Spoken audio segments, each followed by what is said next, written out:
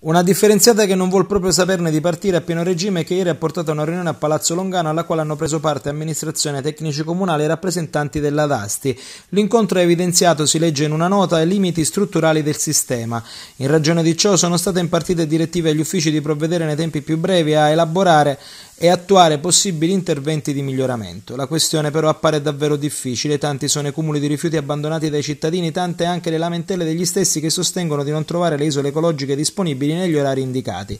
E in più si rischia anche sul piano dell'ordine pubblico, dal momento che a quanto pare un operatore ecologico sarebbe stato colpito avvolto con un sacchetto di spazzatura nella zona del tribunale.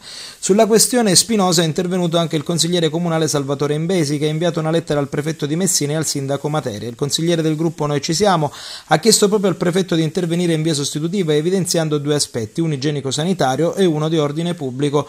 Il primo riferendosi ai cumuli di rifiuti in diverse zone del centro e delle periferie che hanno man mano assunto il carattere di microdiscariche e poi l'aspetto dell'ordine pubblico dettato dall'esasperazione dei cittadini. Al sindaco invece Invesi chiede di conoscere l'esatta dimensione dei servizi resi dall'azienda che gestisce la differenziata e inoltre se abbia decurtato eventuali spettanze economiche per servizi non resi o se abbia intenzione di agire in futuro a tutela di cittadini che rischiano di pagare servizi inesistenti o che comunque non funzionano a regime.